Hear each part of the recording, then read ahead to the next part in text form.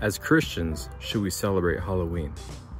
I think the, the question should really be, as Christians, should we fear the devil and fear the demons?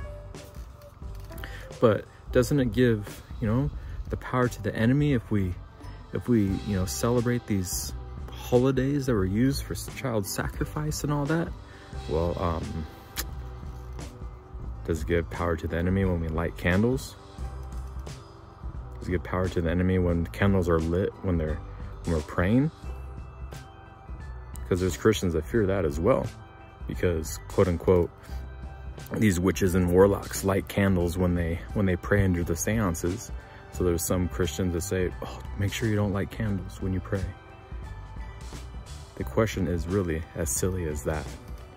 See, either Jesus stripped the enemy disarmed him, and paraded him through the streets, or the word's a lie. Either you are the only being created in the image of likeness of God, as powerful as him, or the word's a lie. Either you are in second command over all of creation underneath God, and all angels and beings and everything else that's created is under you, or the word's a lie. The devil is nothing more than an angel, a fallen angel at that. You're created above the angels. The word says, don't you know that you shall judge angels? Don't you know that you judge the devil?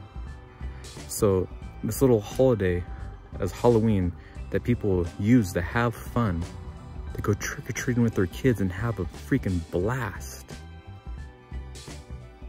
And you're gonna fear the enemy is gonna have some kind of power over you with that? That is silly. Question all these religious teachings. Question all these silly things that pastors and these teachers tell you because they're ridiculous. You are created in the image and likeness of God, the, the only being created in that image and likeness the only being that has been made one with God. You're more powerful than the angels. You're more powerful than the demons. Everything is subject to you. Because who's your father? Who's your daddy? And what does he do? God's your father. And you're one with God. Remember that.